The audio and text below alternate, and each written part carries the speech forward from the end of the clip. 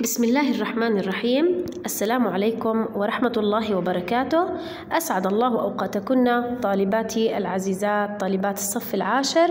نلتقي مجددا مع فيديو شارح جديد. آه، في هذا الفيديو عزيزاتي سوف نتناول درس القراءة الموجود في الوحدة الثانية وهو درس في التسامح الفكري. هذا الدرس عبارة عن مقالة للكاتب الدكتور عبد الكريم الحياري وهو أستاذ البلاغة في الجامعة الأردنية. يتحدث هذا الكاتب في هذا النص عن شكل من أشكال التسامح وهو التسامح الفكري. طبعا نحن نعرف أن للتسامح أشكال هنالك التسامح الاجتماعي هنالك التسامح الديني. الآن التسامح الفكري الذي يتناوله الكاتب في نصه التسامح الفكري.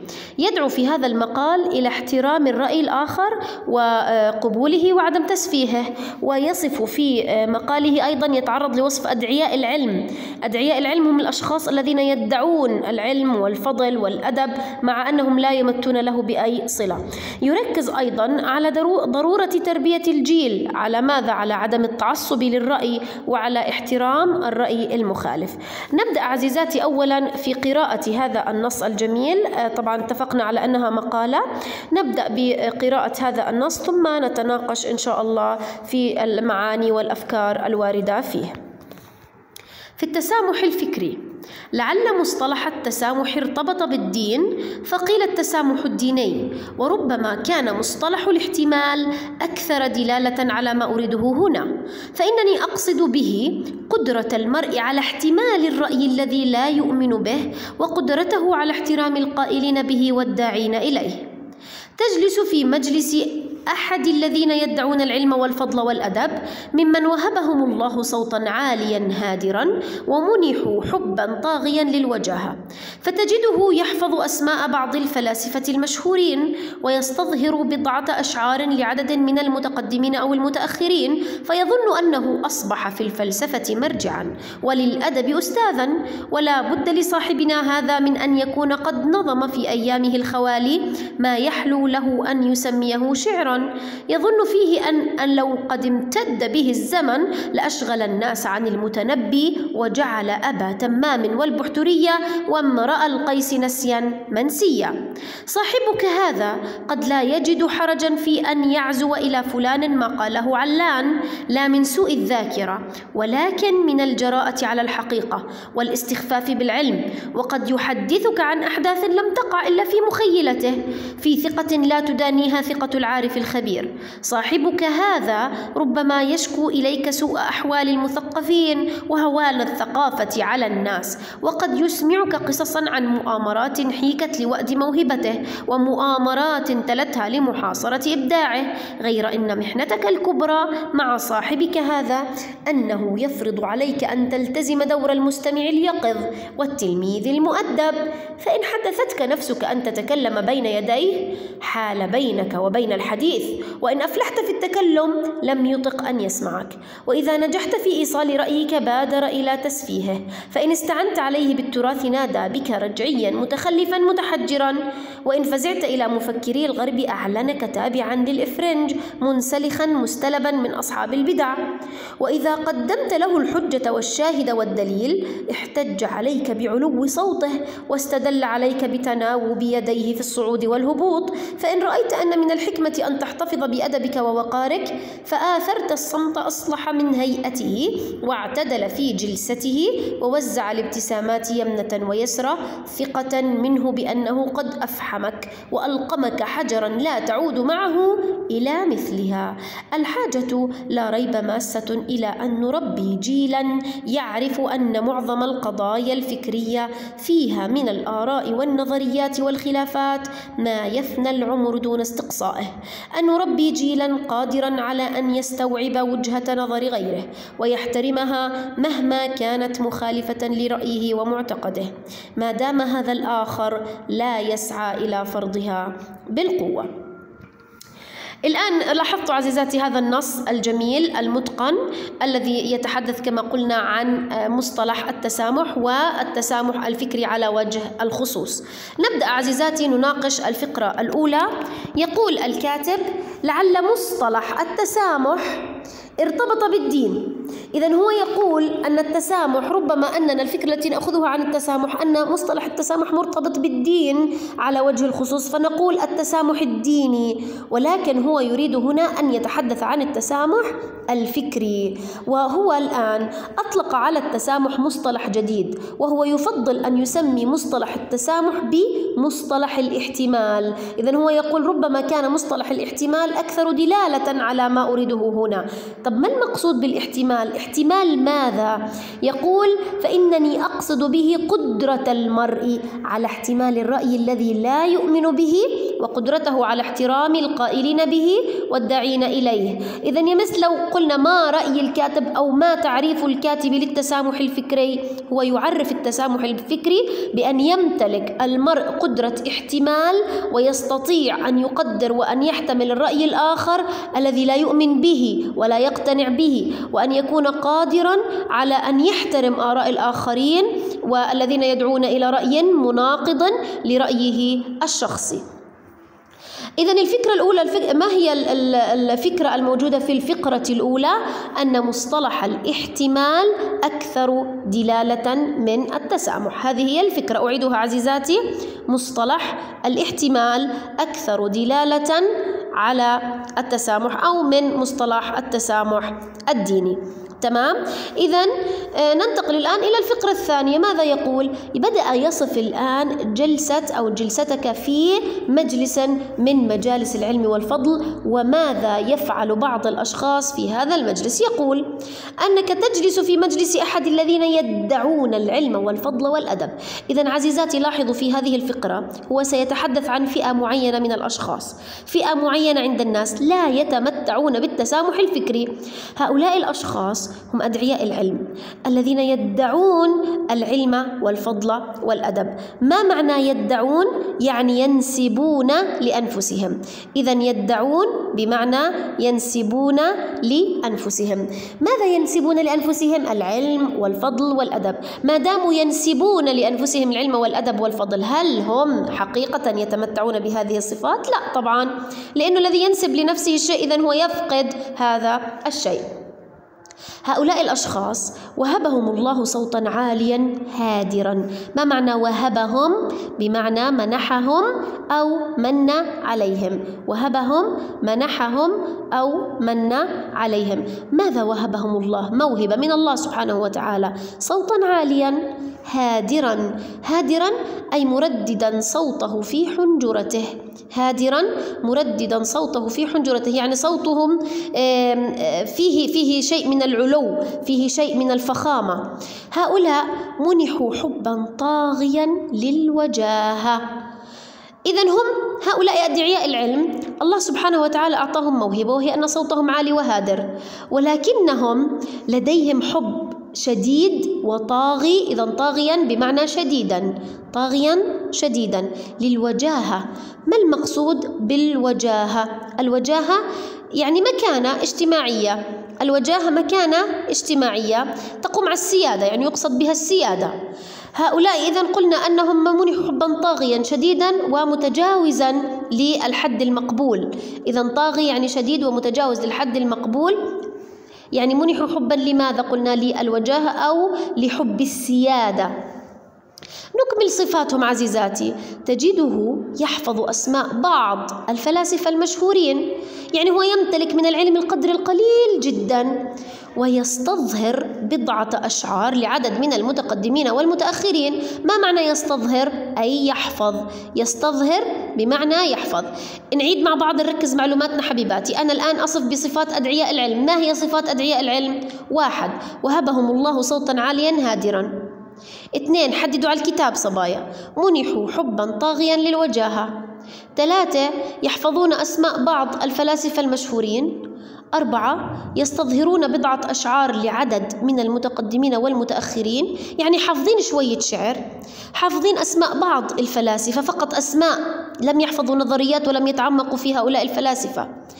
الآن هذول صفاتهم يظنون من وراء امتلاكهم لهذه الصفات أنهم قد أصبحوا في الفلسفة مرجع إذا أصبحوا مرجع ما معنى مرجع؟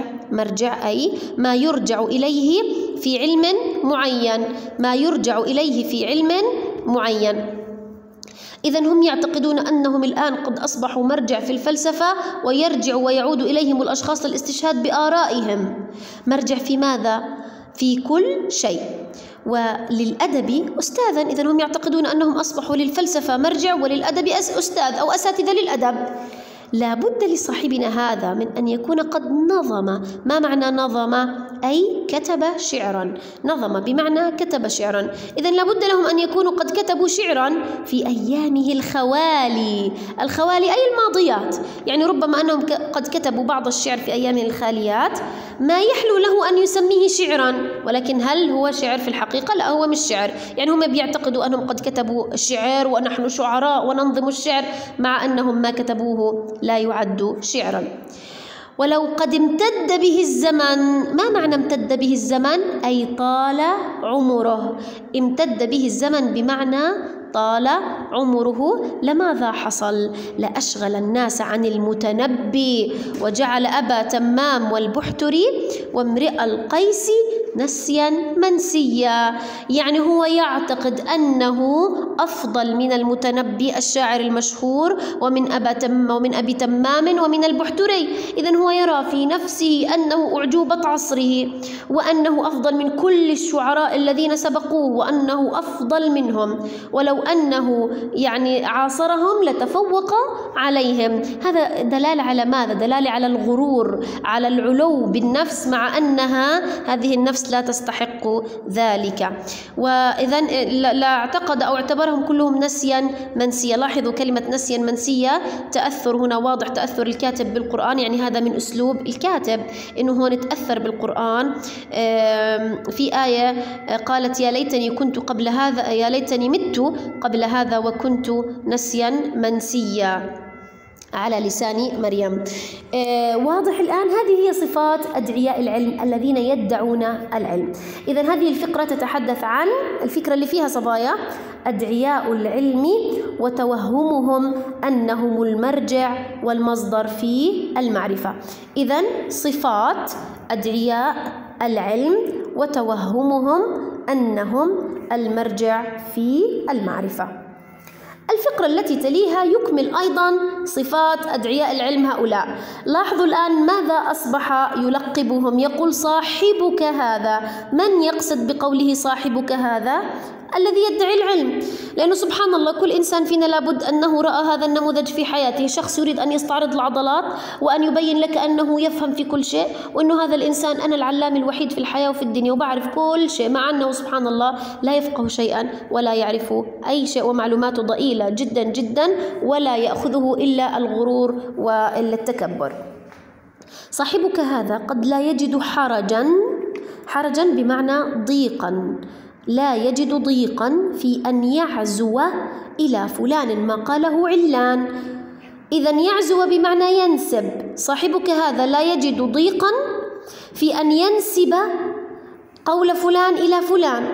يعني هو يقول قال المتنبي ويذكر شعرا لأبي تمام قال البحتري ويذكر شعرا لأبي الامرئ القيس ولا ليس عنده أي إشكال يعني عادي أنسب شعر لهذا لهذا ليس في ذلك أي مشكلة أو معضلة وهذا طبعا الكلام خاطئ جدا. ولكن من الجراءة على الحقيقة. إذا هذا بماذا وصفه الكاتب تصرفه هذا؟ هذا فيه جرأة. شو يعني جراءة يا مس؟ يعني تعدي. الجراءة التعدي. إذا هذا فيه جراءة على الحقيقة. واستخفاف بالعلم أيضا. استخفاف بمعنى استهزاء.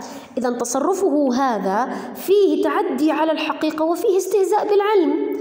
وقد يحدثك عن أحداث لم تقع إلا في مخيلته. يعني هذه الأحداث لا موجودة في تاريخ ولا موجودة في كتب. هي فقط وين موجودة؟ موجودة في ذاكرته طبعا ذاكرته الغير صحيحة والغير حقيقية. في ثقة لا تدانيها ثقة العارف الخبير. لا تدانيها بمعنى لا توازيها. لا توازيها ثقة مين؟ العارف الخبير. يعني ربما أن الشخص العارف صاحب المعلومات وصاحب العلم لا يكون عنده ثقة بقدر الثقة الموجودة عند هذا الشخص الذي يدعي العلم. الفكرة اللي في هذه الفكرة عزيزاتي هي الأسباب التي تجعل أدعياء العلم ينسبون الأقوال إلى غير أصحابها. الأسباب التي تجعل أدعياء العلم ينسبون الأقوال إلى غير أصحابها وما هي هذه الأسباب قلنا الجراءة على الحقيقة والاستخفاف بالعلم هذه هي الأسباب اللي بتخليهم ينسبوا القول إلى غير صاحبه. نعود الآن إلى صاحبنا هذا الذي يدعي العلم. ربما يشكو إليك أسوأ سوء أحوال المثقفين. يعني إذا جلست معه يبدأ بالشكوى. يشكو من ماذا عزيزاتي؟ يشكو من أنه أحوال المثقفين سيئة. والناس مش مثقفين ولو تشوف حالهم وهكذا يبدأ بالشكوى. وهوان الثقافة على الناس لأنه هو يعتبر نفسه إنسان قمة في الثقافة. فهو الآن يعني ينظر إلى نظرة الناس ويشكو من معاملة الناس للمثقفين. هوان بمعنى ضعف. هوان أي ضعف. وقد يسمعك قصص عن مؤامرات وخطط. مؤامرات بمعنى خطط. حيكت لوأد موهبته. هذه الموهبة الفذة الفريدة في العالم. حيكت بمعنى دبرت. حيكت أي دبرت. وأد أي دفن. وأد أي دفن. دفن ماذا؟ دفن موهبته. هذه المؤامرات والقصص آه، خطط لها لكي يقوموا بقتل هذه الموهبة الفريدة من نوعها. ويحدثك عن مؤامرات تلتها أي تبعتها. تلتها بمعنى تبعتها أو جاءت بعدها. لماذا؟ لمحاصرة إبداعه. إبداعه بمعنى ابتكاره وعبقريته. إذا هنالك مؤامرات أيضا تريد أن تقتل هذا الإبداع الفذ. طبعا الإبداع الذي ينسبه لنفسه وهو إبداع غير موجود من أصله. غير أن محنتك الكبرى محنتك بمعنى بلاءك أو مصيبتك. محنتك أي بلاءك أو مصيبتك. الكبرى مع صاحبك هذا. أنه يفرض عليك أن تلتزم دور المستمع اليقظ والتلميذ المؤدب.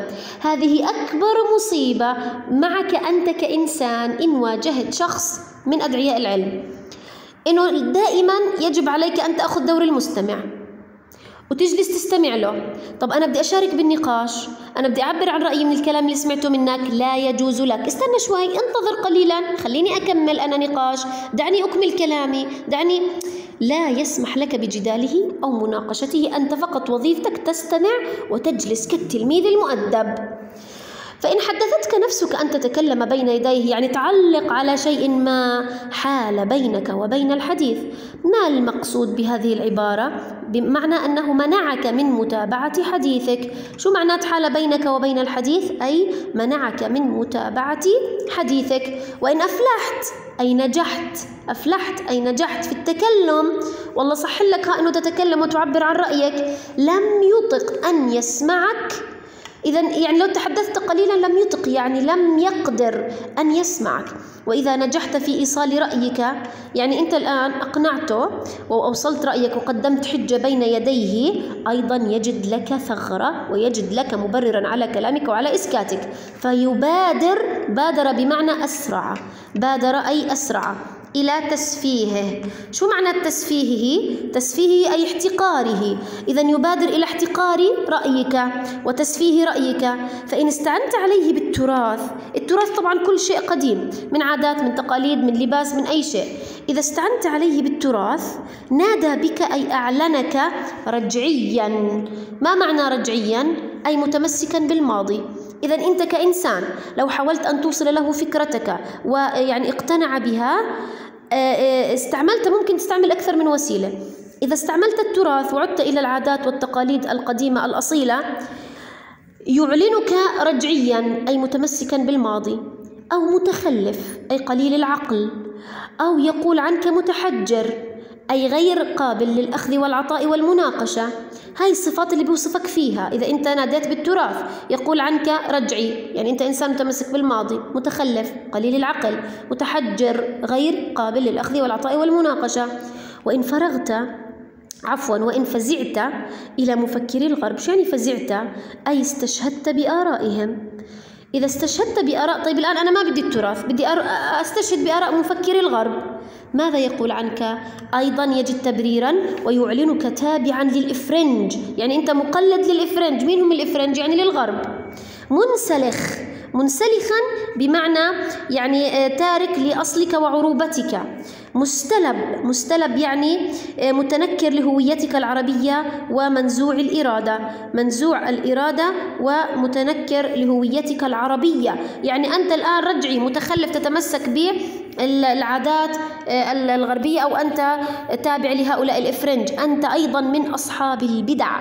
ما المقصود بالبدع؟ البدع هي ما استحدث في الدين وغيره يعني عادات مستحدثة جديدة.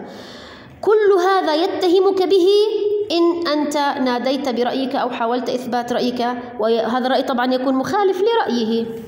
وإذا قدمت له الحجة أي الدليل والبرهان والشاهد والدليل احتج عليك بعلو صوته. إذا لم لم يجد أي وسيلة يدافع فيها عن نفسه يلجأ الآن إلى الخطة الثانية ما هي علو الصوت؟ واستدل عليك بتناوب يديه في الصعود والهبوط.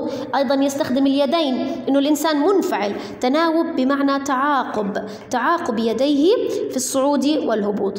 الآن أنت بحكي لك أنت بتجد وسيلة أنك إن رأيت أن من الحكمة أن تحتفظ بأدبك ووقارك وتتراجع. خلص طيب ماشي ماشي ويعني آه تؤثر السكوت. فآثرت الصمت آثرت بمعنى فضلت الصمت أصلح من هيئته أي حاله هيئته أي حاله واعتدل في جلسته جلس بوسطية واعتدال ووزع الابتسامات يمنى ويسرى. يعني كأنه أعلن أنه انتصر عليك مع أنه أنت تنازلت حتى لأنك رأيت أنه النقاش عقيم جدال يعني لا فائدة منه. ولكنه يرى في ذلك أنه قد انتصر عليك وأنه قد أفحمك. أفحمك يعني أسكتك.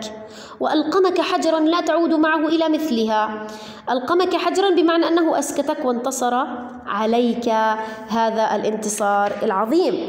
الآن شو آه ال ال هذه الفقرة يعني هي طويلة آه بعض الشيء ولكن فيها فكرة واحدة وهي سلبيات أدعياء العلم في ماذا؟ في المحاورة أثناء المحاورة.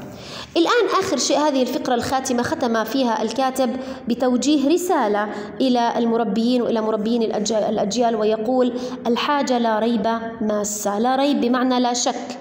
أن الحاجة ماسة أي ضرورية وملحة. إلى أن نربي جيل يعرف أن معظم القضايا الفكرية فيها من الآراء والنظريات والخلافات ما يفنى العمر دون استقصائه. إذا المسؤولية الكبرى عزيزاتي على من تقع؟ تقع على المربيين. أنه من الأصل ننشئ جيل قادر وعلى تحمل الرأي الآخر لأنه الحياة مليئة بالنظريات التي لا تفنى. تفنى يفنى بمعنى ينفذ أو ينقضي ينفذ أو ينقضي. ينفذ ينفذ العمر أو ينقضي دون استقصاء شو يعني الاستقصاء؟ أي الإحاطة بتفاصيله. أو الإلمام بتفاصيلها الاستقصاء أي الإلمام أو الإحاطة بتفاصيل الموضوع. ويقول أيضا يجب علينا أن نربي جيل قادر على أن يستوعب وجهة نظر غيره وأن يحترمها أهم شيء احترام وجهة نظر الآخر مهما كانت مخالفة لرأينا ومعتقدنا. ما دام الشخص الذي أمامنا لا يسعى إلى فرض هذه وجهة النظر هذه بالقوة. طب شو مس كيف نفرض وجهة النظر بالحجة بالإقناع بالدليل. أسمعك وأتقبل رأيك ويعني آه، لا بذلك أتمتع بالتسامح الفكري. عزيزاتي إن شاء الله أنه يكون الدرس واضح والمعاني واضحة وشرحه آه، يعني هذا الدرس الشرح إن شاء الله يكون وافي. وإلى لقاء في فيديو آخر. والسلام عليكم ورحمة الله وبركاته.